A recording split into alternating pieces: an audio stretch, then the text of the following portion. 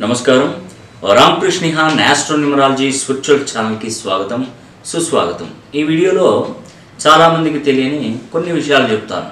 అవేంటంటే అష్టైశ్వర్యాలు అంటే ఏంటి? చాలామంది అంటారు అష్టైశ్వర్యాలు అనుకుంటే కొందరికి తెలియదు ఆ విషయం ఏంటంటే మనకున్నటువంటి డబ్బు బంగారము ఆస్తుపాస్తులు అనుకుంటాం.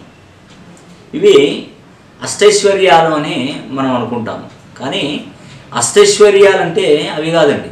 దాంట్లో కొంత అంటే జ్ఞానం అనేది కూడా అష్టైశ్వర్యం కిందకే వస్తుంది. జ్ఞానం తర్వాత ఐశ్వర్యం తపస్సు తపస్సు చేసినటువంటి బలం ఓజస్సు మరియు వీర్యం మరియు కారు కరుణ ఔదార్యం అనిమ మహిమ గరిమ లగిమ ప్రాప్తించడం. ఇవన్నీ ప్రాప్తి.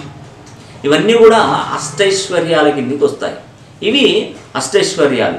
ఈ అష్టైశ్వర్యాలను కాపాడుకోవడం అనేది కూడా చాలా చక్కటి ప్రయోజనంగా మనం చెప్పుకోవచ్చు. ఇవన్నీ ఉంటేనే మనకు అన్ని అష్టైశ్వర్యాలు సిద్ధిస్తాయని కూడా మనకు మన పూర్వీకులు కూడా మనకు ఆశీర్వచనాలు ఇస్తారు. పౌరోహిత్యం చేసేవాళ్ళు కానీ బ్రాహ్మణులు కానీ అష్టైశ్వర్య ప్రాప్తిరస్తు.